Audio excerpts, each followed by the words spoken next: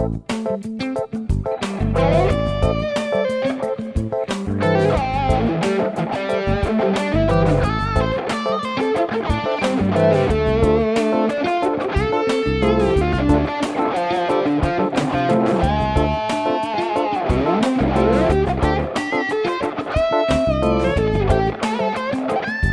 today's video, we're going to talk about a mindset that helps you as a lead guitar player focus. Focus better and in return create improvisations that truly speak to the listener in a different kind of way.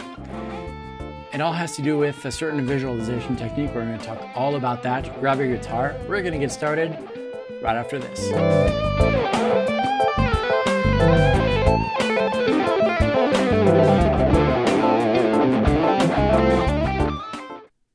My name is David Wallimann. Welcome to this channel, which is all about helping guitar players around the world find their unique voice on the instrument to tell their own personal musical story. And today is one of these concepts that is beneficial for beginners and players who have been playing for decades. It's a mindset a visualization thing that makes a huge difference. Now, we're going to use a backing track here, this one that you heard in the intro.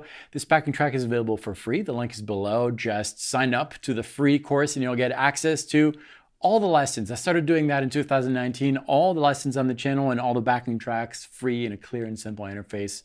It's very easy to, to use and you just have to sign up once. All right, so what am I talking about here? I'm talking about following the chords. Now, yeah, sure, you've heard that before, but how do you do that? Well, that's what we're going to talk about today. Let's take a listen to this backing track here. This backing track is made of two chords, very simple. It's made of an A minor that you're hearing right now. This is A minor, A minor 7, followed by D minor 7.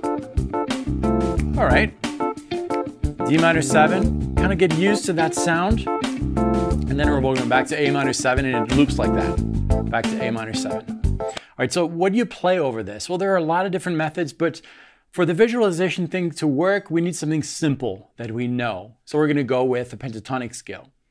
And the rule of thumb that I'm gonna give you is, I'm sure you've discovered that before, but in most cases over a minor chord, you can play a minor pentatonic scale. Not all the time, sometimes it clashes, but typically we're gonna go with that rule. Minor, minor chord, minor pentatonic scale, major chord, major pentatonic scale.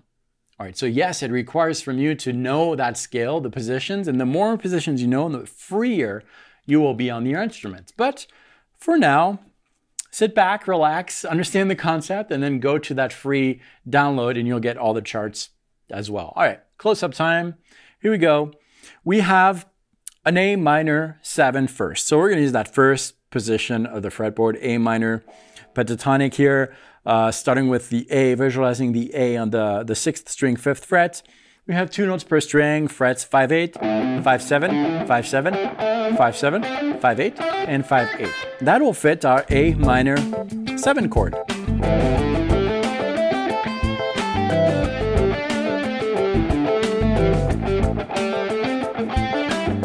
Here's the D minor 7, D minor pentatonic. We can use the same position, starting on the 10th fret,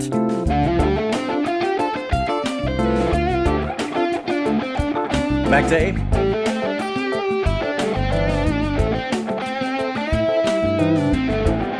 Now, if you do this, that creates what I like to call the jumpy effect. It kind of jumps around because we're jumping from this position to this one, which can be cool, but because of the nature of the jump, that means that you're really going to hear when that shift happens, and that kind of breaks the flow of a musical idea. I could start an idea here.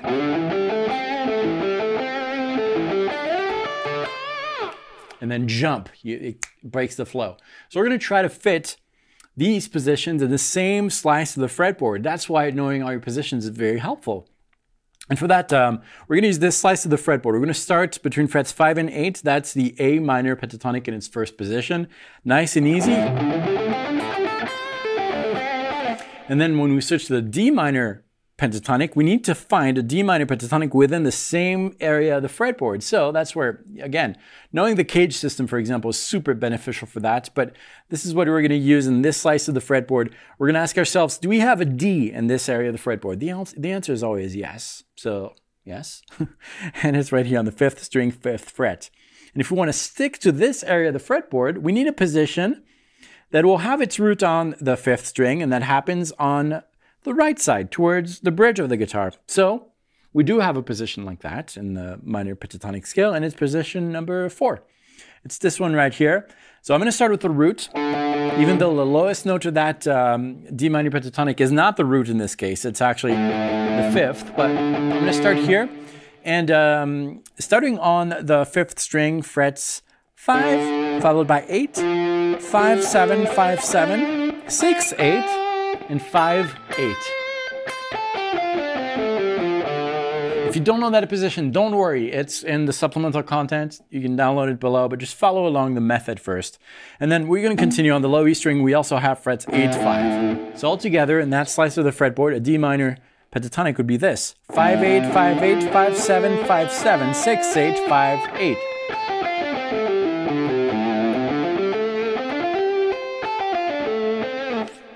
Now that we have this, it's way easier to visualize and, and notice the differences between these two scales, right? We can see that we do have some notes in common. For instance, both of these scales, A minor pentatonic and D minor pentatonic, both have strings four and three in common. They both have frets five, seven, five, seven. So those are not the notes that are really going to uh, be the, the notes um, that are going to give you lots of money if a note gives you money. but they're, they're not the best notes because, well, you play the same ones. That kind of results in uh, the same kind of feeling that you would have if you're playing A minor pentatonic throughout the track. Yeah, it would work, but it maybe wouldn't be that targeted. So maybe don't focus on these, but focus on the differences and being aware of those differences. So for example, as we're transitioning from a minor pentatonic to D minor pentatonic, what you could do is um, decide that, all right, on my, close up time again, on my D minor chord, I'm going to focus on this note, which is the second string, sixth fret, because that note is not found in A minor pentatonic. So that would be a good transitional note. So I'm going to phrase the an A minor pentatonic. I'm going to be aware of when the change happens, and on that change, I'm going to target this note, which is different. So let's give that a try. So A minor pentatonic.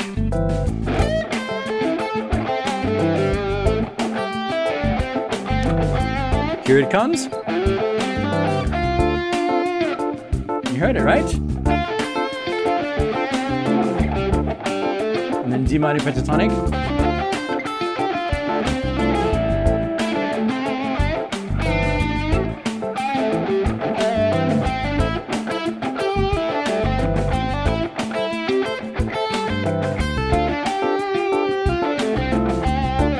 Cool thing is that is that you don't almost hear the chord changes without needing the backing track. And when that happens, your improvisation is going to sound more like a theme as opposed to a noodle fest. And it's all about being aware of these notes. So we started simple with minor pentatonic stuff, but we can expand that with modes if we want. We can go as far as we want. But for now, we're not going to do that. But that's kind of the, the basic concept. And the cool thing is that if you are playing in a single key. I'm not talking about modulation, but a single key, which is the case here. These two different chords can be matched and found in the same common scale. Well, you can find that scale by blending the A minor pentatonic scale and the D minor pentatonic. And you'd find the A Aeolian mode. So that's a blend of both.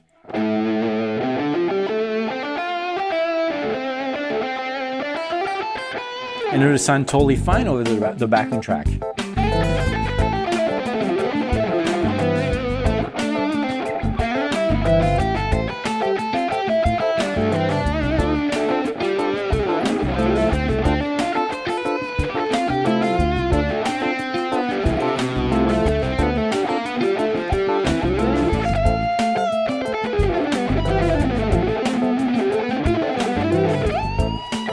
And so forth. Sorry, get carried away, but that's kind of the idea.